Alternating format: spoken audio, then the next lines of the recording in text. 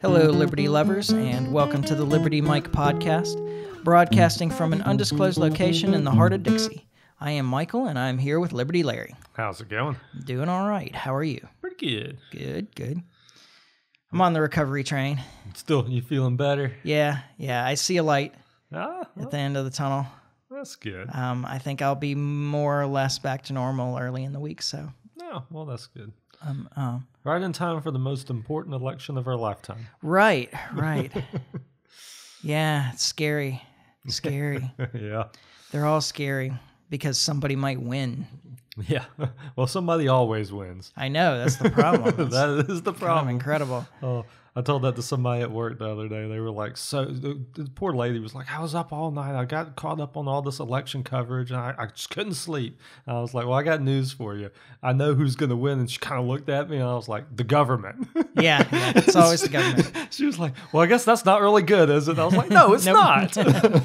You're right. so I got a kick out of it. I um I was listening to the newest No Agenda today. Yeah. Um and uh I didn't get very far into it unfortunately, like half hour or so, 45 minutes maybe. But um they played a clip from some Yale philosophy professor.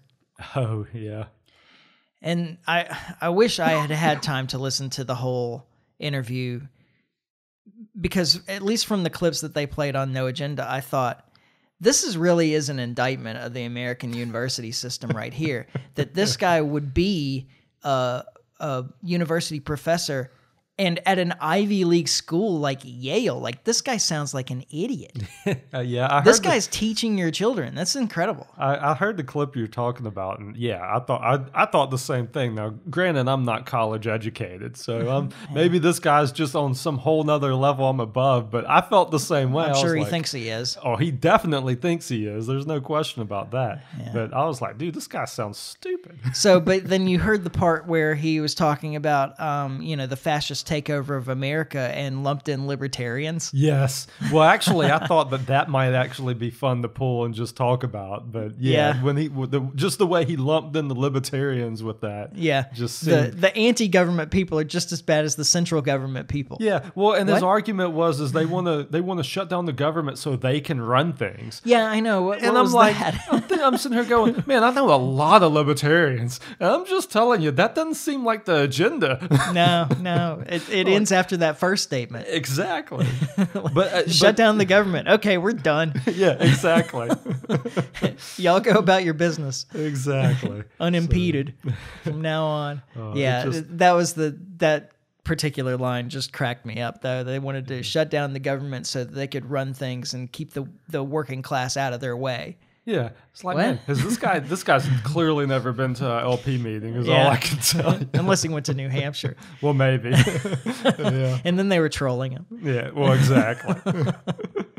Oh man. I yeah, that was that was funny. He, so Yale's where oh gosh, where is Yale? I have no clue. It's it's in that. It might be New. I don't think it's New Hampshire, but I don't think it's New Hampshire. Yeah, or Vermont or somewhere. I don't know. Yeah, Anyway, I didn't. I don't even have my phone at the table, so I can't check it. Yeah. I know Princeton's in New Jersey, Oh, is it? my my home state. oh, okay. Yeah. Yeah. Um, and Harvard's in Massachusetts. Okay. Yeah. I have no clue where any of these schools. These schools weren't exactly on my list of destinations. Yeah. So Columbia's New York, right? Um, anyway. So, what do you want to talk about? I don't know where you want to start. I feel like we should finish with election more topics like that. So Okay. The other stuff that we've got, we should probably leave. Everything with. else comes first. All right. Yeah. Well, let's pick up with uh, something that I meant to say on the last podcast. Um, that hopefully our discussion, or our teasing a discussion of some uh, more election coverage, will keep the people that get uh, angry about this listening, Yeah. or maybe they'll just fast forward past the Israel part. Yeah. Um, but uh, so there were the the leaks uh, about the Israeli attack plan on Iran. Yeah. And there's some interesting things to talk about in that, like who might have leaked this and for what purpose. And, you know, there's plenty of options there. Like uh, the story was that it was an Iran hack. Not likely. Um, possible, but not likely. Um, more likely some U.S. official that uh, is not on board with a wider war in the Middle East that leaked it to try and prevent the attacks from happening. Yeah. Um, there was, however, an Israeli attack on Iran. It just didn't do a whole lot, and they seem to have pulled up short, and everybody seems satisfied that that's the end yeah. for now, anyway. Yeah. And that's good. So, you know, I'm glad it doesn't seem to be progressing any further, although there are plenty of Iran hawks. We can talk Oh, about that more in the election coverage part. yeah, I think Um, but uh, the the thing that just got a little mention in some places um, that nobody seemed to really spend much time on that I think was important is that there was in those uh, leaked documents that have been accepted. I it seems at this point as being so. Legitimate. genuine, Yeah. yeah. Yeah. um, is that the uh, the intelligence services had assessed that there was it wasn't likely that Israel would um, use nuclear weapons to attack Iran. it's not likely because they don't have them, right? That- well, that, should be the- seems uh, that seems like not the approach to take if they don't have them, right? Right. Th- then it's impossible for th- then the statement should seem to be it would be impossible for Israel to use nuclear weapons because they of course don't have them. But that's not what was said. yeah. They said that it seems unlikely that they would use nuclear weapons against Iran, yeah. which, of course, is a tacit admission by the U.S. government, by official documents, that Israel has nuclear weapons. yeah. Now, um, Israel is one of four uh, nations that have not signed the Nuclear Non-Proliferation Treaty, Okay. um, with uh, Pakistan and North Korea and I don't remember who all, but anyway. Handful of people. Yeah, uh, mostly what we would consider bad guys in the U.S. Yeah. What the U.S. government would consider bad guys. The axis of evil. yeah, that kind of thing. Um, but and Israel. By the way, um, Iran has signed the Nuclear Non-Proliferation Treaty. Yeah. Just wanted to point that out. Yeah. We're just So- accusing them of not following it. Um, and there's, you know, the the story is that Israel actually stole n- nuclear weapons plans from the United States back in the 60s or whatever. So, Yeah. but I haven't really looked into that. I don't know. Yeah. So we'll leave that aside. The point really here is that um, the U.S. has and Israel both have maintained uh, this pretend game where they don't have nuclear weapons. The U.S. Israel's never admitted it, although they had that guy in the government we talked about early in this current war with Palestine um, that had said something about just nuking them all and got censured by the government and kicked out because they were like, "Hey, you're not supposed to talk about that in public, you idiot." All right. Um, but uh, the U.S. government has maintained this kind of enigma around it as well. So this, as far as I know, is the first official U.S. document that has really contained an admission that Israel has nuclear weapons. Yeah. And this is why it's really important. I mean, besides the fact that there's another nuclear power out there that we're pretending isn't one, um, but the Foreign Assistance Act um, prohibits arms sales and non-humanitarian aid to a non-nuclear state that is develop ha- that there's good reason to believe is developing nuclear weapons. Yeah. Nevertheless, actually has them. I was fixing to say, yeah. All right. Um, and so, if the U.S. actually admitted that Israel was a nuclear power, and this isn't something that they can choose to Ignore. ignore, right? Yeah. Um, if the U.S. government admits that Israel is a nuclear power, the U.S. is forbidden, prohibited by their own laws Yeah. from giving any non humanitarian aid, which means essentially anything other than food and medicine. Yeah. That means we got to stop shooting down the rockets, right? Yep. or at least stop giving them 2,000 pound bombs to destroy apartment buildings in Gaza Yeah. All right. and Lebanon Yeah. now. Um, and the $3 billion in non humanitarian aid that we annually give to Israel. N- you know, never mind the more than 10 billion that we've given in the last year. Yeah. Right. So all of that would have to stop. All of our support for Israel would have to stop if we admitted that they had nuclear weapons. And that's why we don't admit that they have nuclear weapons. But I think that somebody should really pursue this. Like, here's a real government document Yeah. that admits, however tacitly, mm-hmm. that Israel controls nuclear weapons. And so we are therefore forbidden from giving further aid to Israel Yeah. until would they say- eliminate their nuclear program, Yeah. which isn't going to happen. Yeah. Well, yeah, that's not going to happen ever. So, I, I don't know. I'd like to see. I don't. I just don't see how that gets pursued though. Like, I don't know what what mechanisms would be used to pursue that. Well, I mean, Congress could do it. I, like the government Yeah, but the do but- it. It's yeah, like I- but that's kind of my point though. Is the Congress has no appetite for that. Mm. Um, I just that's that's where I'm kind of like. I mean, it's definitely interesting, but I just don't see like there's just no appetite to deal with that whatsoever. right. Um, and it's a shame because there should be. Yeah, Um, but at the same time, we're sanctioning Iran because they could be weeks from Right. weeks from nuclear weapons. Yeah. Um, yeah. But we can trust a- the, we can trust farce, the but- Israelis, but we can't trust them Iranians. That's a whole nother and, and that's really what it boils down to. Um Yeah, it's some sort of ism. exactly. It is. So, um, you, you had told me weeks ago to look at a thread in our local libertarian Yeah. discussion um, about religion that was going on. Yeah. and I read through it, and I, oh man, it's probably good that I'm not a part of that discussion sometimes. you think so? yeah, I mean, th- there were people saying, you know, smart, thoughtful things. Um, there was one person that I don't know why he speaks at all, uh, and there there was some bias in there that I, you know, that I knew existed in those people, but was like really on display in there. Um, this like anti-Muslim bias Yeah. and uh, like some idea that um, Islam is the only violent religion out there.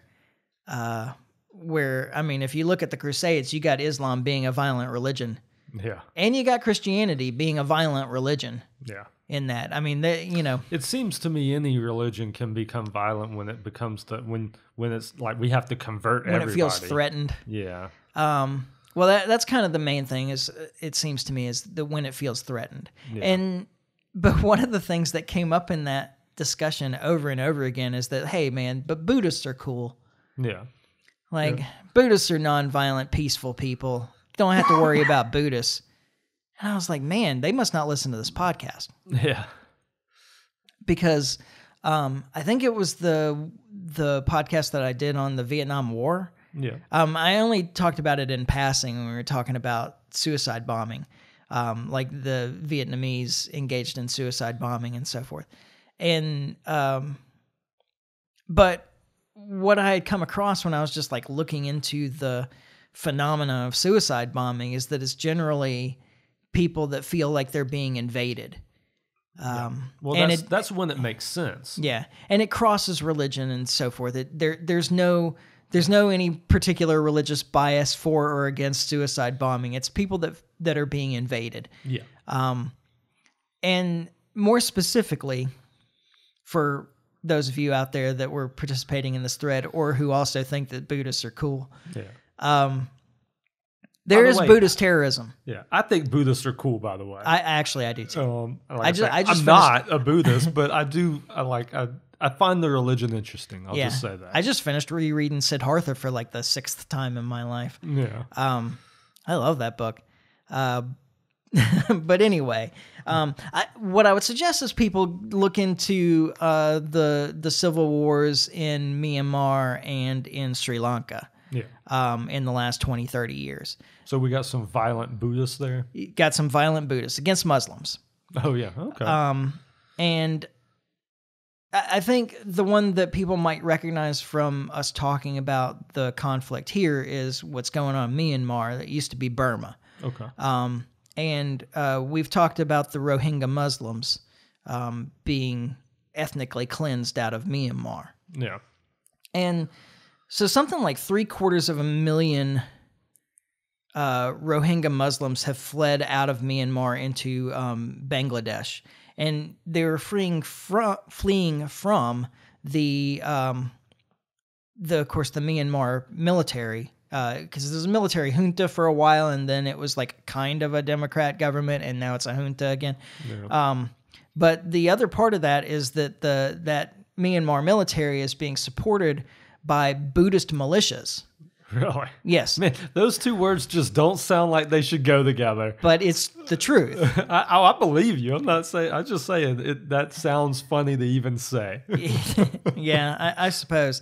Um, now the and and something similar is going on uh, with the Tamil uh, against the Buddhists in Sri Lanka. yeah. Um, now, in both cases, the Buddhist population of these countries is like less than 10%. It's something like 5% in Myanmar and less than 10% in Sri Lanka. Yeah. Um, and in Sri Lanka, there's been like real terrorism on both sides. So Yeah. uh, the Tamil and the um, the Buddhists are are both Blowing each other up. yeah, um, you know, and throwing fire bombs in temples and mosques and so on and so forth. Um, but in in Myanmar, it's it's very strongly on the side of the Buddhists that are being the aggressors, uh, pushing the Muslims out. Um, and uh, they claim to be defending from a Muslim invasion. That they are a Buddhist country, one of the few left, and Yeah. um, that you know Buddhism is a very small religion on the world stage, and uh, Islam is big, and so but these these people feel like they're defending their culture. It's like a, it's a nationalist movement. yeah. Um, they're defending their culture from the invading Muslims. Yeah. Well. Um, but yes, So so so suicide bombers come of all stripes then. exactly. yeah, that was that was the point that I was trying to get to. Yeah. Um, and I just thought that it was worth pointing out. Worth mentioning. Yeah. Yeah. Yeah. I, and and it's the reason I think that it's worth pointing out is because of these weird biases that people have. Um, and it's not that I don't I say weird, but it's not that I don't understand them, Yeah. Especially in this country where we've been told for thirty something years that Muslims are bad. Yeah. Um, but it's not, you know, um, Muslims are mistreated in places where they're minorities. Yeah. Yeah. And so and they're you know in the places where there are majorities they can they can mistreat minorities it seems like majorities mistreat minorities kind of wherever they are That's just kind of a scheme of Yeah. things. Um, yeah, but we're above that in this country. That's never happened yeah here. um, and especially if they feel like they're impeding or impinging on the existing traditional culture Yeah. Yeah. so um Wow. Anyway and, and and to be fair to the people in that thread they did also mention um you know the uh, Muslims being mistreated in China and so forth. But I, I think that that's mostly, and again, like reading through that thread, I was like, man, there's somebody here that's getting all their news from CNN. It looks like yeah. because China bad and Russia bad and Yeah. Iran bad, um, because that's who I've been told is our enemy. Um, and and actually, the whole thing about the it's not to say that Muslims aren't being mistreated in China, but it's certainly been blown way out of proportion. yeah. Um, that it's not uh, like the the uh, article or study or whatever uh, it's not a study it's an article the article that all that stuff was based on originally had uh, like a, an order of magnitude error in their estimates of people killed and so forth so like they estimated 10 times as many as there is actually any evidence for. Oh wow. um, even extrapolated i mean. Like so not like well we assume that there's 10 times as many people actually um, you know being put into camps or so whatever than are. As in like we made a mathematical error in our extrapolation that made it 10 times higher than what it yeah. what it should have been Well, So- anybody getting put in camps, I think, is a problem. oh i agree So i, I said I'm I'm not just i'm, I'm not dismissing it yeah, i'm just saying it's been blown That way out of been- proportion the idea that it's an ethnic cleansing is is a farce. yeah I got you. Um, and there's plenty of evidence for that, and we're not going to go through that on this podcast because we have before, partly, and then Yeah. also it's just freely available. Yeah. Um, So there's all that out of the way. And we're only 20 minutes in. Yeah. Got plenty of time to talk about the, the politics of the day. No, no, we're going to first, well, this is kind of talking about politics of the day, This but should what I, lead us into the politics of the day. Sure. Um, the thing, the, the topic that I really wanted to discuss today was the uh, Washington Post and then the LA Times um, both announced that they were not endorsing a candidate in this election, and it created. Oh, I'm going to use some one of these like news um, phrases here. It created a firestorm on the left yeah. Oh, um, that they wouldn't do their duty and endorse Kamala Harris. yeah. because the like I don't know how far back the LA Times goes, but the Washington Post has endorsed the Democrat candidate for like 25 or 30 years. Wow. So modern history. Yeah, like every time. Yeah. Yeah. Um and it's just it's kind of incredible the things that people have said It kind of makes it. you wonder why they didn't just do it. Well, um, again, the Washington Post, the editorial board, I don't know, some big truck, man. I don't know if y'all could hear that, but it scared me. Like, oh shit, are we fixing to get hit? like some plane crashing. Uh, no, just some big truck. Fair Uh, happens all the time. I'm on the main road here, so Yeah, that seemed extreme though. Yeah, I don't know. Maybe they had a stuffed up muffler or something. Anyway. It's reflecting off the houses on the other side of the street. Uh, I don't know. I can come up with excuses. I'm all day long, right? Yep. My house is old and it's falling apart, so the walls are real thin. That's not really true, but Yeah. it could work But as it an excuse. good, yeah. right? Yeah. Um, anyway, um, the the Washington Post, the editorial board had drafted a um, an endorsement of Kamala Harris. Oh. Uh, before the paper announced. Well, actually, that, maybe that's why they they were just like, man, like we just can't bring ourselves to write this many nice things about her. I don't think they had trouble. They sent the story is they sent it to Bezos, and then the word came down that the paper wasn't going to endorse a candidate. So, is this the first election that Bezos has been in charge? No. Okay. No. Yeah. All right. He's, How long has he, he been in charge there? He, 15 years, 20 years. 15 I mean, years, I, I, I do remember when he bought it. Yeah. Um, I didn't realize it had been that long, but you may be right. I think it's been at least 15 years. Okay. Okay. Um, now the the Washington Post put out an article saying that they essentially covering themselves. Yeah. Um, and explaining why they decided not to endorse a candidate. Yeah. And they said essentially um, that it's not their job to endorse candidates or to tell people how to vote, um, that their job is to uh, cover the issues and the candidates and provide all the information necessary for the voters to make their own decisions about who they wanted to vote for. and after 25 years, we've decided to follow through with that. Yeah, exactly. um, now, I think that that's a great position for media to take. Oh, I agree. Yeah. Um, but Their literature doesn't seem to, to correspond with that, though. well, that I mean that's the other thing is that even though they're not endorsing Kamala Harris, it's very clear they have a um, preference. that that they want Kamala to win. Yeah. Uh, there is I don't know that there have been any pro-Trump.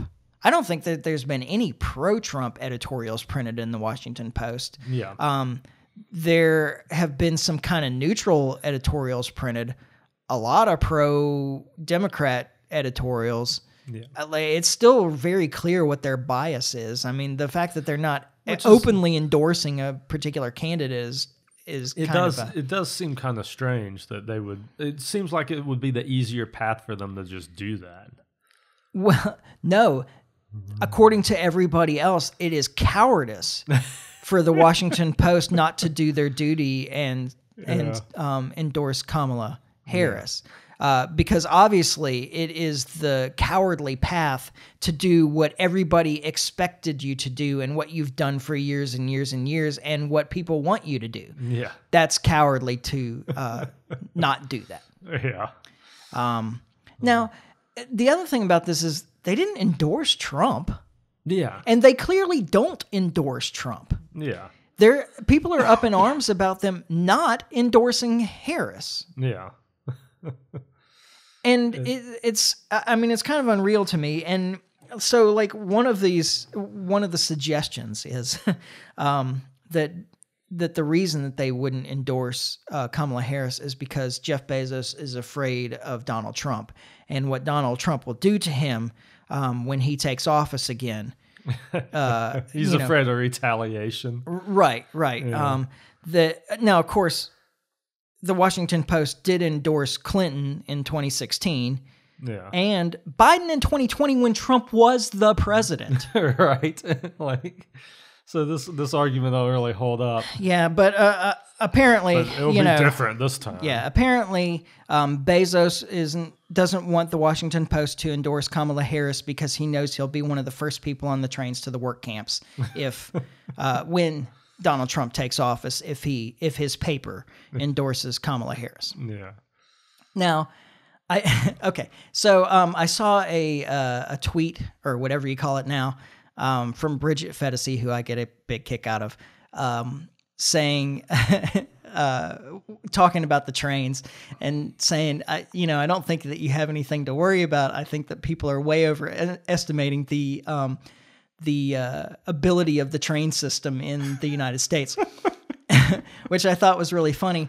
And I, I will add to that um, that uh, I think you have to have, in order to have a camp, Yeah. you need four walls, or, or at least three, right? Okay, I, like yeah. at least three walls. And in four years, Donald Trump was unable to build one wall. So I think that you are safe from these triangular work camps that require more walls than he was able to get done in four Uh, years. they So. can put some they can put some chain link up pretty quick, man. Chain link and ball barbed wire. yeah, that doesn't hold anybody. We know that. I Um, don't know. No, I think the trains is the better argument. If Trump starts a thing for high speed rail, watch out. Yeah. That's that means it's coming, folks. yeah, I, I thought it was uh, was particularly uh, funny, although a little dark, and um, you know, thinking about the Ohio wreck Oh yeah, yeah. just before, and of course we, you know, here it's been a long time now, many decades, but we had an Amtrak end up in the yeah. um, Mobile River, I remember that. um, and I, I've ridden Amtrak, and it's Scary. actually I had a pretty good time. Oh yeah. um, that's a story for not the podcast, I think. But uh, anyway, um, it it's not the most efficient thing. That's kind of the point. yeah. Um, you think her argument's better? Huh? I'm disappointed. Yeah. I, th- I thought I thought the wall thing was good No, no, the tra- the trains is where it's at, man. We just don't have the train system to to to, To accommodate work camps. to Yeah. accommodate work camps. It's just not going to work, man. I don't think we have the wall building skill. you're still you're standing with the wall. I'm, I'm sticking with it. yeah. I don't know. All right, fine. But uh, Bombed on that one, I guess. Speaking of just horrible coverage, though, so I watched the PBS NewsHour last night, and dude, this it's just it, the bias is in is just crazy. Like I can't I can't get over it. Well, Um, and the thing that I wanted to point out really about the this whole thing with the WAPO and the LA Times um, is just the elitism about it. Yeah. Like that all of these voters are out there waiting for the Washington Post to tell them how to vote. Yeah, like this, dude. Or, or just even the idea that the Washington Post and the LA Times are that influential that people need them Yeah, to tell them how to vote. Well, and that's that really kind of gets down to it because that them not doing that didn't change a single vote.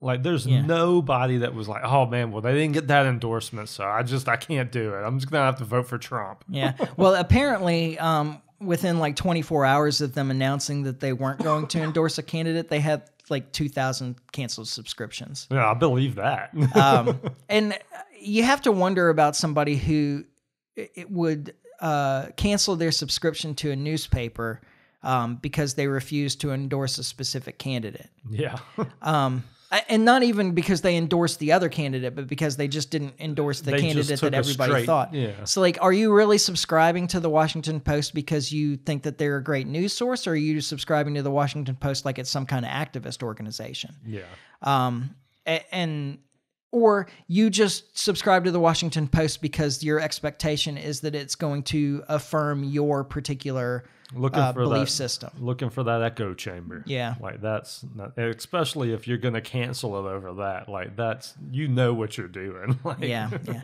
Oh, and another great loss is that Robert Kagan uh, resigned from the editorial board. He was like editor in chief or something. He was some high ranking editor anyway. yeah, Um, I think he ran the editorial page, but uh, Yeah. is is really what it, his job was. But yeah, Robert Kagan, um, pretty sure husband of Victoria Kagan Nuland, yeah, certainly related. yeah. Um, so uh, yeah, a, a great neocon lost from the editorial board of the Washington Post. It's a real shame. Yeah. Real shame. Well, and that goes kind of back to the the um, PBS thing. Is so one of the things they were roasting Trump for last night, and and I don't know any better way to put it. Like they were just it. They're so blatantly one sided. It's just it blows my mind.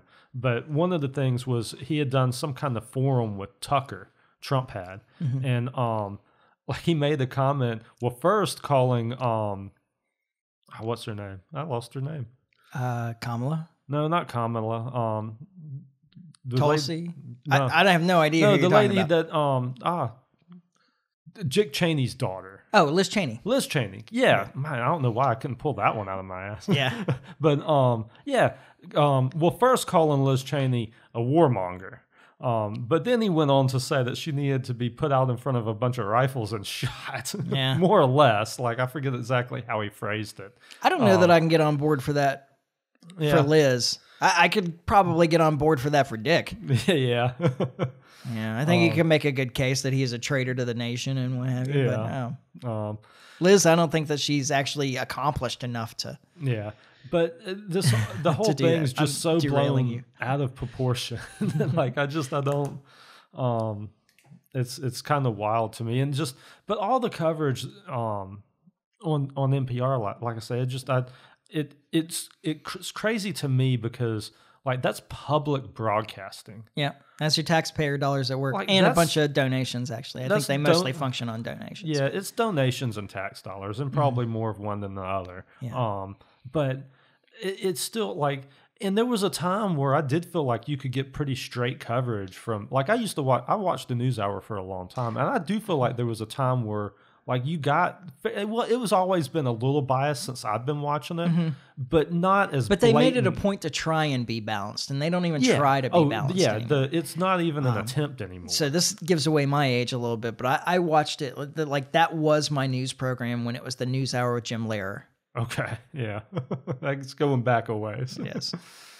Uh, so go ahead. Anyway, Oh yeah, um, but yeah, it's just it's atrocious that that's that's the coverage we're getting from Mm-hmm. them. Like I say, I don't know. It, re- it really really stuck in my craw.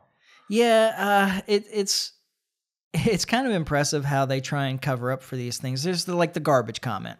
Yeah, Um, not the Puerto Rico is an island of garbage. it's kind of amazing how this has all played out. By the way, so this yeah. comment, this comic made this joke, which was funny, by the way. Um, which I like. I listened to a little bit of his material. Th- That he done a pretty good job. So I've been trying to keep up with. Mm-hmm. He's a, he's a um an insult comic. He's a roast anyway, comic, right? Yeah. I mean, that's literally what he does. So you, nobody expected him to go up there and make a bunch of like non like Non-offensive jokes. non-offensive jokes. Like you know what you're getting with this guy. Yeah. Um. Uh, Trump said that you know you get a comic up there, you don't vet them, you don't know what they're gonna say. Yeah. Well, there may be something. I mean, I'm sure Trump didn't vet him. Well, like. Seems like somebody would have known who he was. Well, and I'll tell you, like, I believe that Trump didn't vet him because he is doing so much media right now. I can't keep up. Like, Yeah. I tried to listen to the whole Joe Rogan podcast. I've made it like halfway through because there's just so it for one that's three hours, so that's a Yeah. commitment for me. Yeah. Um, and I, I had to listen to it in segments because listening to the Trump talk on and on is rough. Like about 15 minutes of him and just his just braggadocious way is is a lot. Well, and at the same time, you almost have to listen to it straight through, or you won't get everything because he talks in circles. Yeah. Well, I've with with that one in particular, but with most podcasts, when I find the stopping point before I stop, I roll back like a minute so I can get like so when I restart it, like I get kind of a, a primer for what was going what was being said. The oh yeah moment. Yeah, exactly. Because once I have that, I'm, I'm in again. You know. Um, but yeah, so but he's doing so much media, it's crazy, man. Like I literally can't keep up. And talking about the the deal with the comment with the garbage comment, so the media blew that up into this big thing. I guess trying to get the turn the Puerto Ricans against him or something. I don't know. But um, so then I mean, I'm just gonna. So I lived in Puerto Rico when I was young. Yeah, I don't remember it very well. Yeah. I, I would I would bet that if we asked my mom yeah, if she thought that that was an unfair comment, she would probably say no. yeah. But I don't know. I, I shouldn't put words in her mouth. She'll Yeah. she's gonna listen to this and she's gonna be like, I can't believe you would say that about me. or she's gonna be like, Yep, you're exactly You're right. exactly I- right. But I'll hear one way or the other. We may give an update on the next podcast. Yeah, yeah. So, so yeah, post election podcast. We'll have an update on that one. But the um, status of Puerto Rico. There's a whole lot of Puerto Ricans in New York and Florida, and they're not there because they'd rather be in Puerto Rico. yeah, I think that's a fair assessment. Yeah. so, um, so All I remember is the power went out like a dozen times a day. The water was dirty. You couldn't get anything, anything that would spoil. You couldn't get unspoiled because the power went out a dozen times a day. yeah, that was a long time ago, but still. yeah, but it stands. Like, Yeah, there's a it lot was- of folks that remember that. I'm sure. Yeah, in the late '70s, Puerto Rico was a third world country. yeah. so, um, yeah, it's kind of amazing though. So, like, the comic made that that that the media blew it up, and then Biden made his like bumbling comment calling Trump supporters garbage. And we had a banana tree in our backyard. Yeah. Oh yeah. Is that? And I remember that too. But there were yeah. bars on all the windows. Oh yeah. I remember that.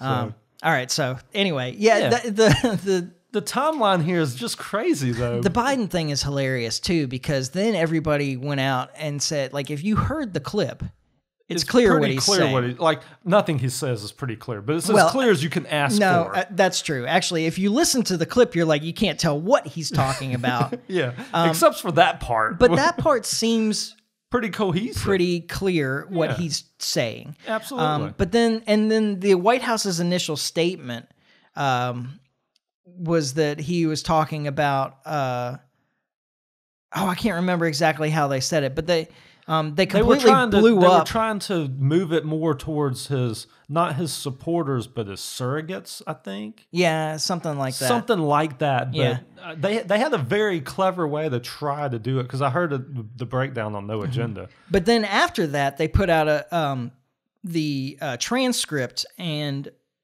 a different statement Yeah. uh, that they sent out to all the media. Oh really? um, that where they changed supporters plural to supporter apostrophe s possessive. Yeah. That he was saying it was the supporter apo- uh, possessive Yeah. rhetoric that he was talking about, not about Yeah. um, the supporters as a group of people, yeah.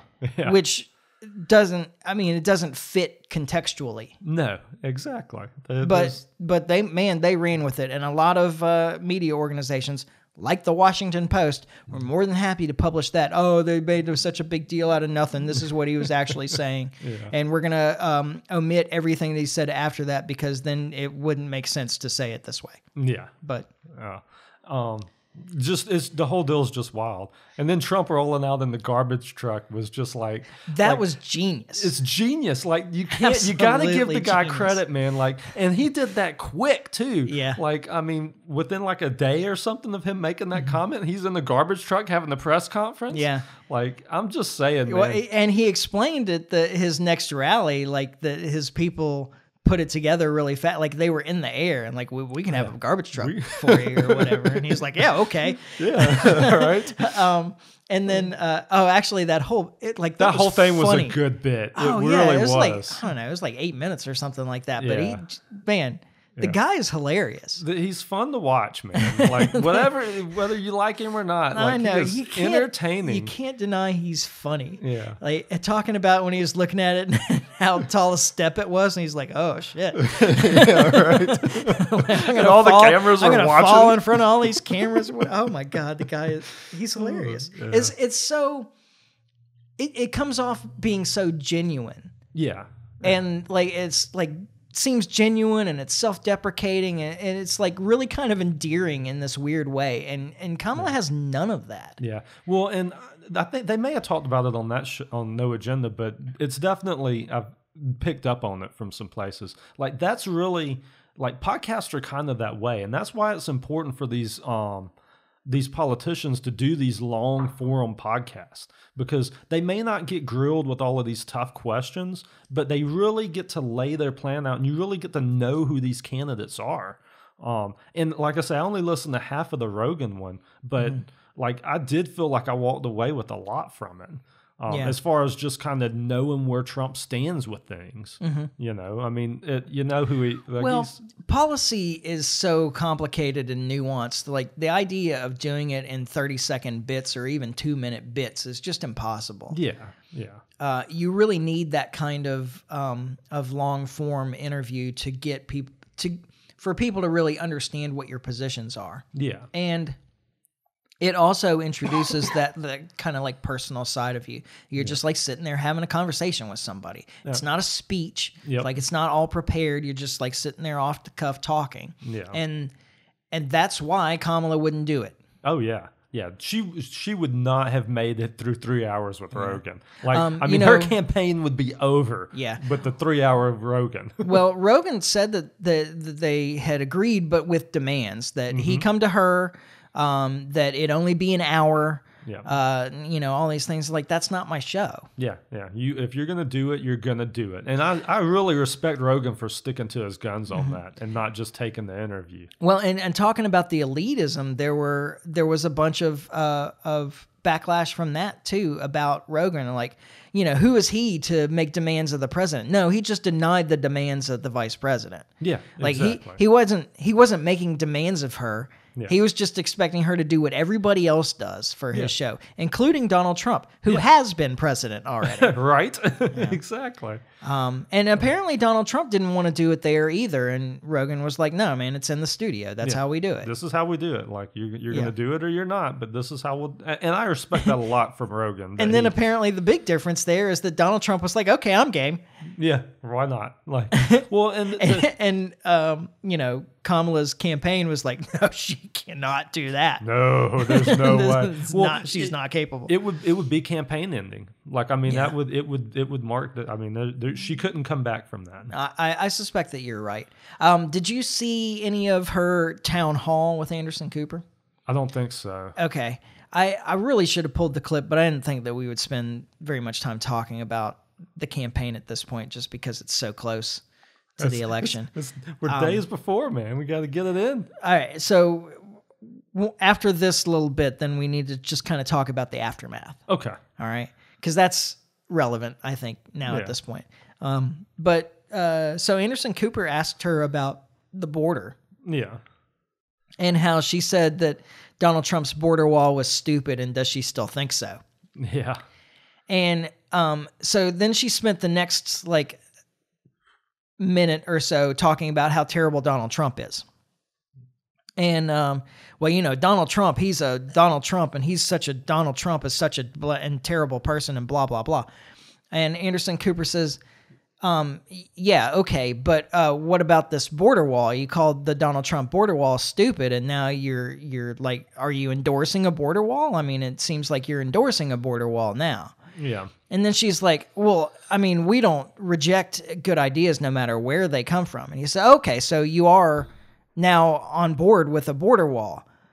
Anderson, no, no, we've already talked about the wall, Anderson. Um, and y- yeah, but you you still haven't answered the question. Th- There's one question here is like, are you now supporting a border wall?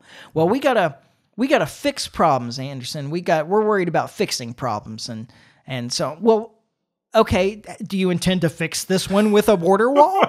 I, oh, like, it was, Oh. it was, un, and in the end, she she never answers that. Yeah. She just never answers that. It's amazing to me because most politicians are graceful enough that they can not answer a question and still leave you kind of feeling like you got something from it. Yeah. And she she's just not capable of doing that. Like um and the the campaign she's running where she's completely walking away from her positions in 2020. She just doesn't know how to gracefully like do that. Like she just she it's it's kind of astounding that she's this bad at it. Yeah, whatever her oral skills is not speaking. No, it's it's not. Like I say, um, not especially not interview style. Yeah. Um, like I mean, she can get through a, a scripted speech. Mm-hmm. Um, she still has trouble with that sometimes, but but she can do that though. Yeah. But she can't. She like the one-on-one interview stuff where somebody's asking her questions. It's just it's a disaster every time. Um, how about did you see any of the speech she gave from uh oh what whatever they call it the place where Trump gave the January 6th speech? Oh, um, I, I heard some bits from it, but I haven't. I, obviously, I ain't listening to the whole No, thing. no, no. No. I mean, who would? Yeah. Uh, I, I doubt the people there listen to the whole thing. right. Um, Uh, she didn't promise Beyonce and then not per, not put her out there, did she? well, Beyonce went out there. She just didn't perform. didn't perform. Yeah, yeah, but she was promised to perform. Was she promised to perform? well, I don't know. yeah, there was definitely some misleading going on. Yeah, that it's not a surprise. Well, there was some misleading going on in this too. She's just she's just a liar. yeah, Like it's kind of incredible. It's incredible to me that people can be so consumed within their echo chamber that they don't know that she's lying about some of these things. Like one of the first things she said is, you know, this space from which Donald Trump directed an armed mob to attack the US Capitol on January 6th. An armed mob. There wasn't a that. single firearms violation charged. yeah, Not one. yeah, yeah. Right? Isn't that No, still that's true? As far as I know, that's true. I think they found cable ties on people. Yeah. like, that was the big thing that the stink was made out was the cable ties. Yeah. Like, okay, like I get the, yeah, I get an what you can do with mob. them. But it's amazing Armed to me that you can ties. get you can stand up there and say that. Yeah, And- not get well. It's because you have a complacent media. Yeah. Because any little misquote that Trump makes gets blown into this big thing. Not saying Trump can't drop some doozies because he. Oh, can. yeah. like I ain't saying that ain't the truth. Yeah. But but the, the but the bias is just apparent. Yeah. Um, she keeps talking about uh, Donald Trump's 20% sales tax. Yeah. She's referring to the tariff. to the tariffs. Yeah. Yeah. It's not a sales tax. Yeah. Yeah. I mean, but here's the, here's the truth is that you know both sides are kind of lying about this. First off, it's not a sales tax. Um, but secondly, the idea that uh, China or other countries will pay it is ridiculous too. Like in the end, the consumer pays all taxes. Yeah. If you tax a business, the consumer pays it. If you tax imports, the consumer pays it. Every Yeah. every tax Those is actually paid by the consumer. yeah. They're always passed on. Yeah. Never absorbed. Um, so like every both all sides are misleading about that, but that you would even call it a sales tax is Yeah. uh, you know makes it sound like everything you purchased Yeah. is going to be twenty percent more expensive, Yeah. and that's not true. And, We've and at the already very least, experienced that through the Biden administration. right? Exactly, and more than twenty percent. Yeah. I uh I don't people have a like a complete misunderstanding of tariffs and I'm not on board with tariffs. But Trump has also talked about eliminating the income tax. Yeah. Um which won't happen. No. I, I mean, it's And just we- and he the, like the inertia is there. Like he Oh, did he talk about it on Rogan? he mentioned well that's what was so disappointing about it was because it came like i think rogan asked him directly about that and trump was like oh yeah we're interested in doing that and then immediately bolted into like a 10 minute thing on tariffs. Like it, it was it didn't go very far as far as that end of it goes which tends to tell me that we'll get the tariffs and we won't get the income tax. Yeah, almost certainly. yeah. Um so that that's Horton's law right there. oh yeah Is that the president will uh, keep all their bad promises and not and none of their good promises. exactly Um, so yeah, you're probably right. But at the very least, it does promote homegrown business. Yeah. Well, and that's that's his reasoning for it. Like, I mean, eh, he has two big pushes with the tariffs, and one of them is that they should be paying us, and we should be collect. It's a good way for the government to create revenue. Um, but the but that's not even his main pitch. Like his main pitch is to bring those jobs back here. Like that's that's what he wants to do with the tariffs is use that as a way to bring business back. Yeah. Um, and it can be used for that. Like I'm not saying I I think that that ship's kind of sailed more than he realizes. Like a lot of the stuff, just it, the the manufacturing in this com- country isn't coming back to what it was mm-hmm. years and years ago. But well, and it, it can hurt American business as well because anybody that's importing raw materials and so forth is going to have to pay Is gonna be more for the yeah. raw materials. But raw materials are generally less expensive than finished goods. Yeah. So if we were just importing raw materials and exporting finished goods, it would still be good on the whole. It would be a net win. Um, yeah. Uh, the problem is that we're not we're not doing a lot of finished goods either. Like in this country, most business at this point is service, not yeah. not manufacturing, not actual production. Yeah. Yeah. Um, so oh well. Uh, all right. Aftermath. What happens So- next? I don't know. Something I was thinking about the other day, and I always try to, regardless of who wins, try to, after the election, kind of like take the things that they had said that I thought were good things and at least kind of hold on the hope that they'll maybe implement some of those and we'll end up in a better place. And so I was thinking about that, of course, with Trump, and you kind of know what you're getting with Trump because you had four years of him already. Um, and I think that there's a lot of hope that comes along with Trump. Um, like the the fact that a lot of the people that's endorsed him, we're talking about Tulsi and Elon and um, Vivek, like a lot of these people are going to be in his administration, and I think that's a win.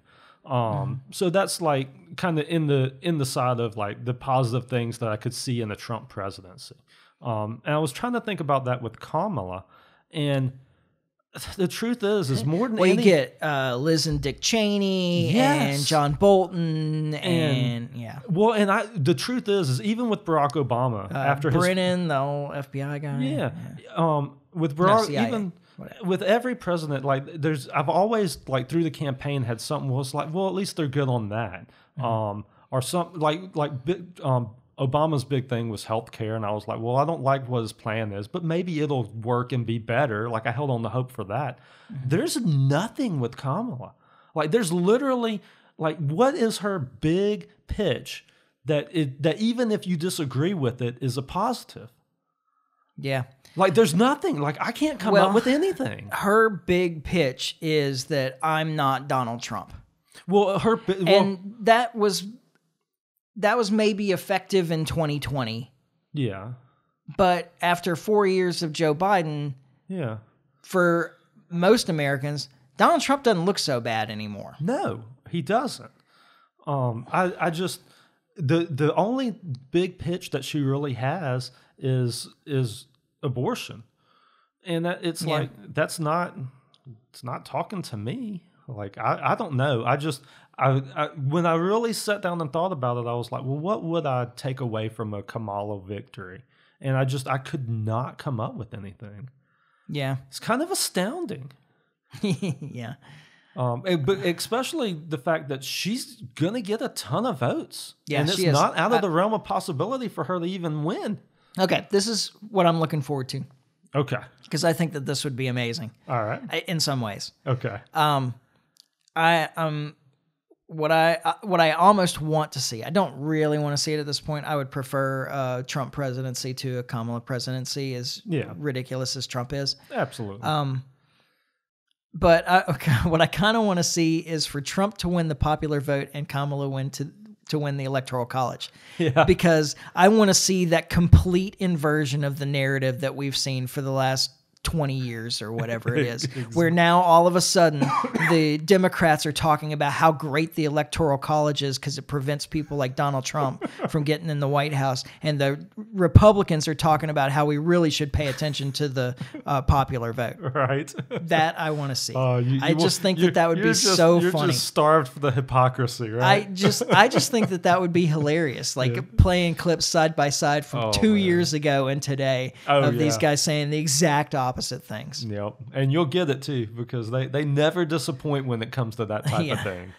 And um, and that's a possibility. That's oh, something it is that a possibility. It, it um, absolutely is. So I think I think that would be that would be kind of cool. Yeah.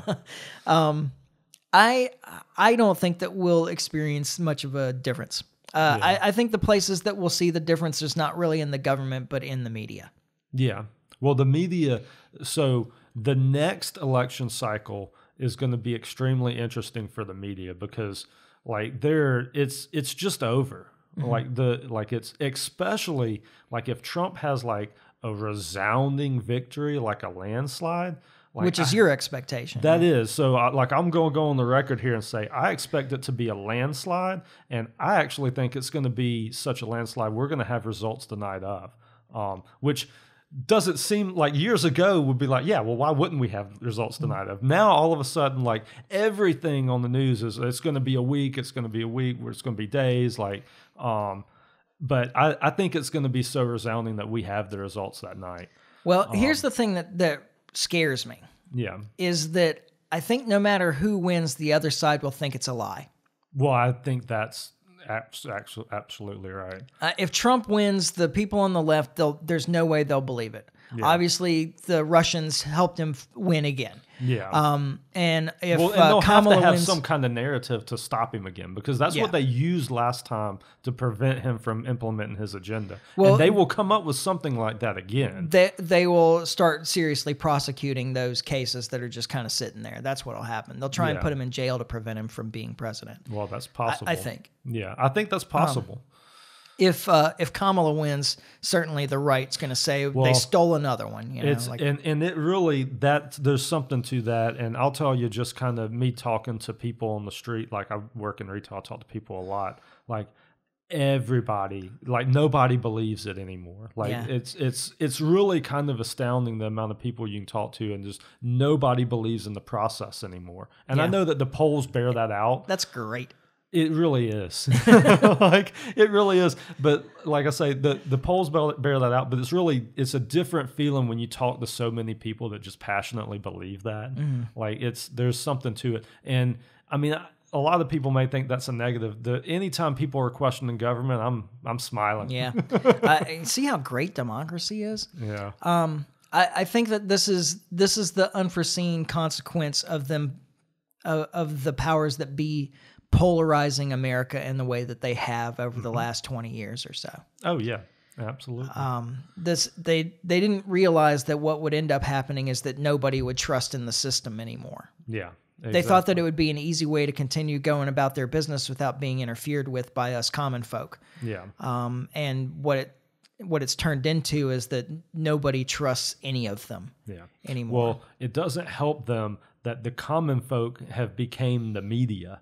Yeah, Um, and that's a problem for them. And I think that's going to be the big thing that we're going to see in the next election. support your local podcast. Absolutely.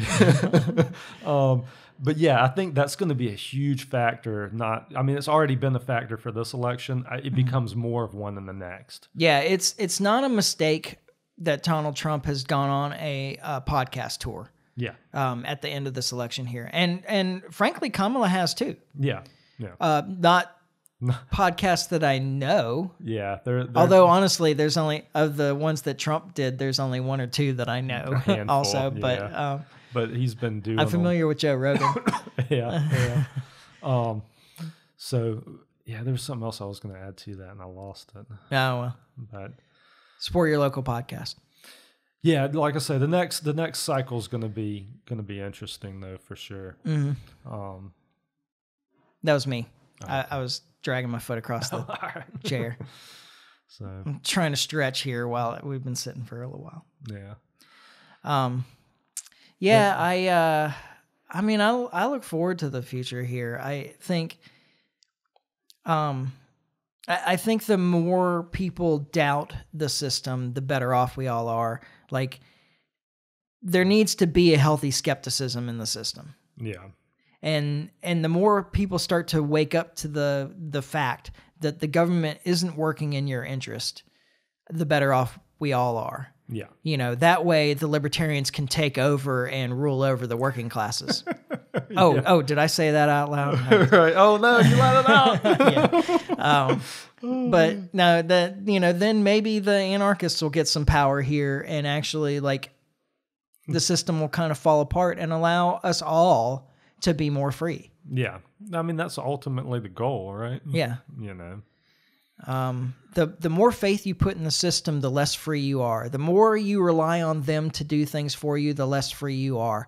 Um, if you really want to be free, you need to be reliant on yourself and your neighbors and your community, and forget the government because they're not there to help. No, in in no way, shape, or form. Um, and every once in a while you get these like glaring examples of that they're not only are they not there to help, but they're not even capable. Like Yeah. after these hurricanes and so forth. You see that there's just it's not that they're it's not even that they're just incompetent. It's that, that that they don't have the capability to do what they claim to be able to do for you. And you're better off relying on the people around you.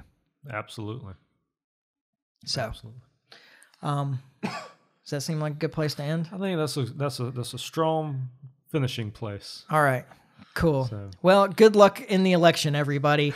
Uh, I hope you all survive, and uh, we'll we'll see you on the other side. Yep. um, when we're back next week. And in the meantime, as long as the system is still up, yeah. As long as the grid doesn't go right. yeah. Oh man, there's some weird stories out There's, there. there's a lot of people paranoid about a lot of things. Yeah, I'm just telling you, I I'm, I work in retail. I, I encounter them regularly. I'm Yeah. telling you, people people, and, and it really is kind of scary. People, a lot of people are scared, man. yeah, I mean, I we finally figured out why um, you can't keep toilet paper on the shelves. yeah, right. Yeah. Um, so, but uh, you know, we'll be here next week. Um, in the meantime, you can follow us on Facebook and you can subscribe on iTunes and YouTube and Podbean. If the grid goes down, we'll be here right after it comes back up. Absolutely. Um, and uh, so we'll see you next week. Uh, and in the meantime, try to stay free. Life short, live free. Ciao. Later.